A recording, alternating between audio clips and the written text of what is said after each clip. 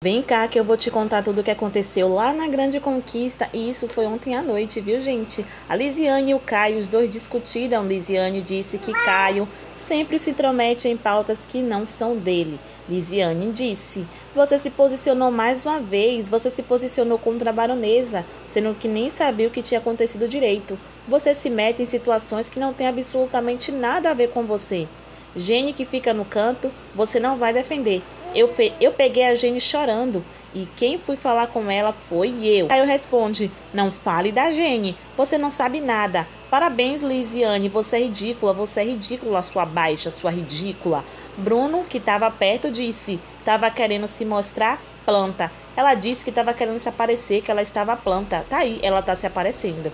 E aí, gente, nessa treta entre a Lisiane e o Caio, vocês estão do lado dela, que ele sempre se tromete em tudo, ou vocês estão do lado do Caio, que a Lisiane ela é ridícula e baixa? Comenta a sua opinião em teu próximo vídeo.